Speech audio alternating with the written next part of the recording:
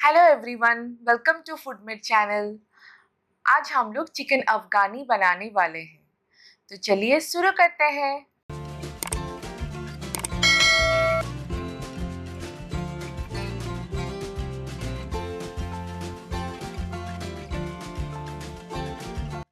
अभी हम लोग मैरिनेशन के लिए मसाला प्रिपेयर करने वाले हैं।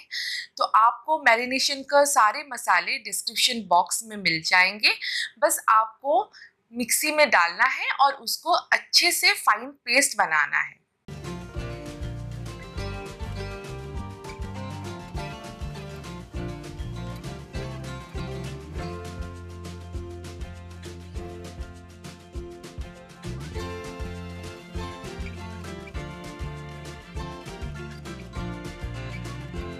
अफगानी चिकन में क्रीम और दही, ये मैंडेटरी चीज़ होता है, या प्लीज़ स्किप मत कीजिए, नहीं तो बिल्कुल भी उसका टेस्ट नहीं आता है। तो वो दोनों चीज़ आप ध्यान रखिए और उसे क्वांटिटी के हिसाब से आप डाल सकते हैं। अभी मैंने एक किलो चिकन लिया है तो मैंने बस लेग पीस लिया है, पर आप चाहे तो कौन सा भी चिकन का पीसेस ले सकते हैं। बस उसमें आपको थोड़ा कट लगाना है, ताकि मसाला थोड़ा अंदर तक भी मैरिनेट हो जाए। उसके बाद जो मसाला मैरिनेशन मसाला हम लोग पीसे थे, उसको डालना है। उसके बाद एक नींबू छोड़ना है। उसके बाद आपको थोड़ा ऑयल डाल के उसको अच्छे से मिला के घंटा और ऊपर मैरिनेट आप कर सकते हो। अगर आप होल नाइट मैरिनेट करते हो तो भी बहुत अच्छा होता है। जितना देर आप मैरिनेट करोगे, उतना देर ये चिकन बहुत सॉफ्ट और बहुत जूसी होगा। एक पैन लेना है। उसमें ऑयल घी, नहीं तो बटर आप कुछ भी डाल सकते हो, नहीं तो आप कंबाइन करके भी डाल सकते हो। बहुत अच्छा टेस्ट आता है।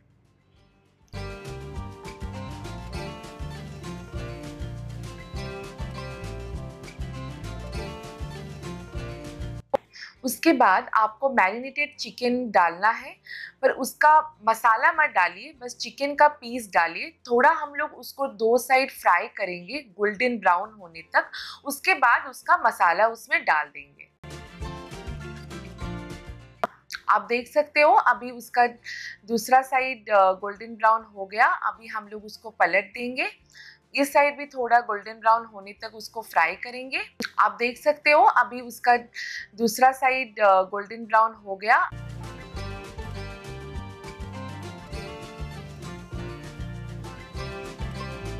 उसके बाद हम लोग ये जो मैरिनेटेड मसाला था, वो डाल देंगे। और चिकन को लो फ्लेम में उसको अच्छे से पकने के लिए छोड़ देंगे। आप अभी देख सकते हो कि मसाला कितना अच्छे से पक रहा है।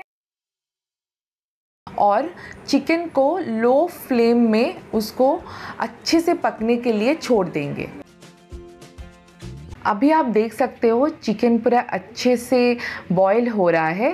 तो अभी हम लोग उसको थोड़ा पलट देंगे, दूसरे साइड पलट करके उसको अच्छे से आपको पकाना है।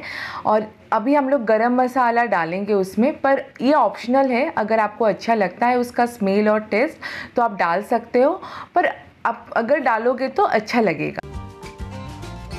उसके बाद आपको एक मीडियम फ्लेम में उसको पूरा अच्छे से बॉईल करना है, जब तक चिकन पूरा सॉफ्ट ना हो जाए। अभी आप देख सकते हो चिकन में पूरा ऑयल सेपरेट हो गया है और चिकन अच्छे से पक गया है। उसके बाद आप थोड़ा हरी मिर्ची और हरा धनिया ये थोड़ा आपको चॉप करके डालना है। नहीं तो स्लीट स्लीटेड भी डाल सकते हो। उसके बाद it's ready to serve So guys, please watch our videos, subscribe, like and comment. Thank you.